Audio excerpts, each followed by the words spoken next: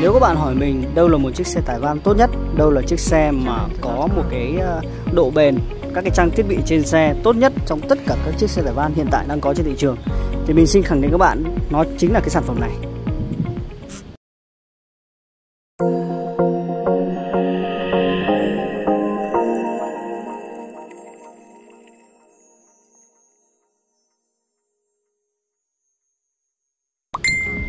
Chào mừng các bạn đã quay trở lại với uh, ô tô thiện nhân. Chúc các bạn có một ngày làm việc hiệu quả. Uh, ô tô thiện nhân đã làm khá nhiều video về cái chiếc xe tải van của Photon này rồi. Thế nhưng mà hôm nay uh, nhân dịp là có một cái màu đặc biệt như thế này, cũng nhân dịp là cái Photon hiện tại đã ra mắt những cái sản phẩm được uh, lắp ráp năm 2020 thì mình xin giới thiệu đến các bạn đây giới thiệu đến các bạn cái sản phẩm xe tải Photon tải van 2 chỗ trọng tải 950 kg hoàn toàn mới của Photon Việt Nam cái sản phẩm này trong thời gian tới thì nó sẽ được uh, hạ tải xuống 945 kg cho phù hợp với cái uh, nghị định mới từ được áp dụng từ ngày mùng 1 tháng 7 của Việt Nam là những cái chiếc xe tải van mà trọng tải trên 950 kg thì nó sẽ được liệt vào xe tải. Thế nhưng mà cái sản phẩm này nó sẽ được hạ xuống 945 kg thì các bạn có thể đi trong phố một cách hoàn toàn thoải mái mà không gặp vấn đề gì cả. Đó. Thì đây là cái sản phẩm có một cái màu cực kỳ đẹp. Đây là màu mận chín của một cái đơn vị mà mình đã đặt hàng rồi. Mình đang chuẩn bị là dán đề can cho nó. Thì hẹn các bạn trong một cái video khác mình sẽ gửi các bạn cái video mà nó đã hoàn chỉnh dán đề can cho các bạn xem là nó đẹp như thế nào. Đấy thì cái sản phẩm này à, sử dụng cái động cơ 1.5 lít quá nổi tiếng của Photon rồi. Cái động cơ đam của Đức công suất là 1.5 lít.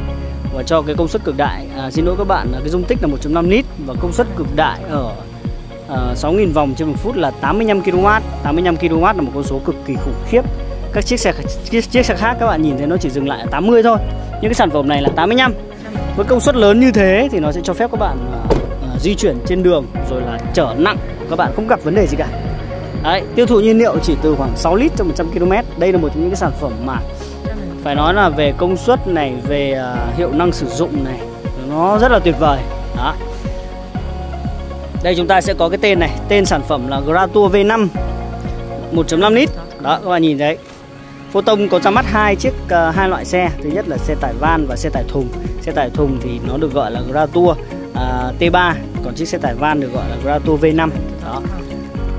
Thì cái sản phẩm này được uh, nổi bật với cái khoang chở hàng kín như thế này. Uh, dung tích là rơi vào khoảng hơn 4 lít hơn 4 mét khối. Xin lỗi các bạn. Đấy ở đây chúng ta sẽ có một cái khoang hàng dài 2 m 150 đấy, 2 m 150 rộng 1 m 4 và cao là 1m2 cho phép các bạn chở được rất nhiều hàng hóa rồi là rất nhiều vật dụng đằng sau như thế này. Ta có hai cái gồ lốp ốp nặng trịch uh, chắc chắn. Đấy, nó sẽ không bị uh, móp khi mà chúng ta sử dụng quá nhiều cái uh, hàng hóa mình để trong nhiều nó không gặp vấn đề gì cả. Đó. Thì cái sản phẩm này nó với một cái ngôn ngữ thiết kế nó khác biệt hoàn toàn so với những chiếc xe khác đang ở trên thị trường. Các bạn nhìn thấy đông ben nhiều rồi. Các bạn nhìn thấy phô tông cũng à, các bạn nhìn thấy kenbo cũng không kém kia hai chiếc xe đó kia. Đó các bạn nhìn thấy. Hai cái dáng dấp đó chúng ta đã nhìn thấy rất nhiều lần rồi. Thế nhưng mà với cái dáng này nó mới lạ hơn nó đẹp hơn. Đẹp hơn từ cái lớp sơn cho tới cái phong cách thiết kế rồi là cái các cái khớp nối nó cũng được chuyển chuẩn chỉ hơn và chắc chắn hơn rất nhiều. Nếu mà bạn à, thực trực tiếp bạn nhìn thấy nó thì mình nghĩ rằng các bạn sẽ không chê được một cái điểm nào về cái thiết kế của cái xe này. Đấy logo Photon nó quá nổi tiếng rồi. Thì thương hiệu Photon mình cũng nói rồi.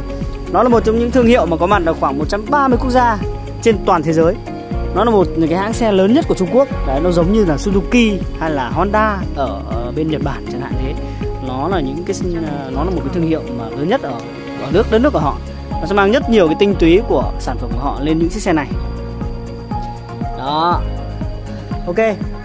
Đó, các bạn nhìn thấy khoang hàng đằng sau này rất là thoáng đãng cửa mở được ba hướng. Chúng ta có thể là thoải mái để mà à, chở đồ rồi là à, vận chuyển hàng hóa lên. Đó à, bây giờ thì đến cái cabin. Thì cái sản phẩm này mình đã nói rất nhiều rồi nó có rất là nhiều cái điểm ưu việt so với những cái sản phẩm khác. Thứ nhất là ghế da các bạn nhìn thấy không?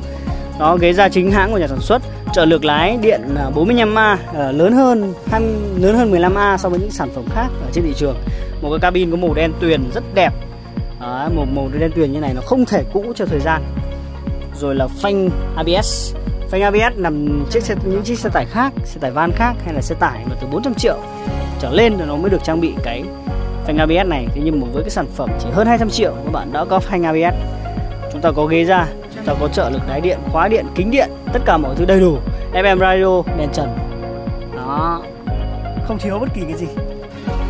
Đó thì các bạn nghĩ rằng là ờ, với mức giá này các bạn đang được hời khá nhiều. Hệ thống khung gầm tiêu chuẩn châu Âu, thép cường lực phân tán, lốp lớn 175R14 là những cái điểm mà nó nổi trội hơn rất nhiều so với những sản phẩm khác.